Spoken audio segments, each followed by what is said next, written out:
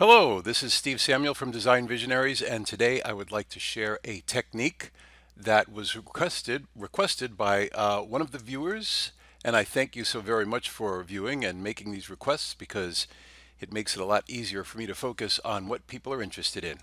So the request was, how do I have uh, a series of holes drilled through two tubes, one outer, one inner, that are interlocking?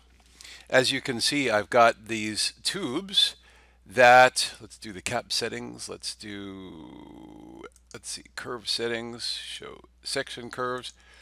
There we go. So I've got an inner curve uh, or an inner tube and an outer tube. They fit together like that. There's about a 30 millimeter uh, interlockingness or overlap.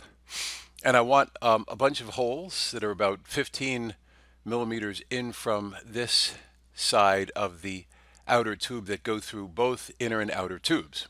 I want 10 of them. So here is a very nice way that I've, I've come up with to do this. There's more than one way. And uh, that is make the outer tube the work part and do, let's say, an offset uh, datum plane. Uh, minus 15 would be good because that'll put us right in the center of this kind of embossment and go to the curve function and do an intersection curve between the outer face and the datum plane. And that way you get a nice little uh, curve that we can put the points on uh, that will define the hole location. So I'm going to uh, take the opportunity and put a point on the end point of this circle. Circles have endpoints. They usually end and start at 3 o'clock, so to speak. And so now I have a point. And what I'm going to do next is go to the uh, pattern feature. And NX is uh, so powerful that you can select a point as a feature to pattern, not just uh, solids. I really, I really appreciate that about NX. Um, whoever did the pattern feature command uh, from Siemens is amazing, and thanks for that. And what we're going to do is we're going to pattern it along that intersection curve. So I'll select path, select the path, put in the number that I want. I want 10 of these and I want to do count and span in a span of 360 degrees.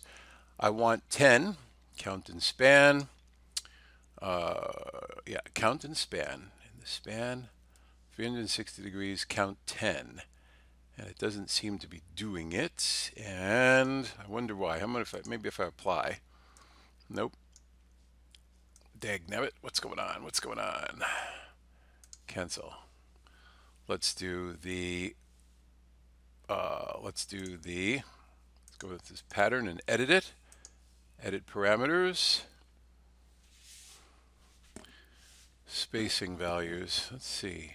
Oh, it's 100%, not 360%. There we go. And say OK. I can edit that mistake out, but then I wouldn't be being real, would I? So I'm going to leave it in. And um, then I'm going to go to the hole function. And the hole function will be uh, a hole series. So the hole series is a very powerful technique because you can make um, a hole through two things in an assembly. And here's how you do it. You go to hole series. Of course, you have to have one of the um, members of the assembly as the work part and you specify the points. Now I can just drag a box around all the points and as you can see it's making holes and and since this is a hole series it's going to make all those holes on the outside tube and then I can go and say uh, end and select right here it says select body and I could select the inside tube and then it makes the holes on the inside tube course, the inside tube should probably be threaded hole, so I'm going to say threaded. So I have the M10 thread here. I've got the outer hole as a clearance hole, inner hole is a, is a threaded hole, and simply say OK. You wait for a second or two, and it's making um, all the holes, all the threads, etc., etc. And then you can go back to the, uh, you can make the uh, assembly the work part. And as you can see, it's done a very nice job now of making the uh, clearance holes and the threaded holes. As a matter of fact, if I show you that I can hide the outer tube, you can see that the inner tube has the holes, is it, holes in it.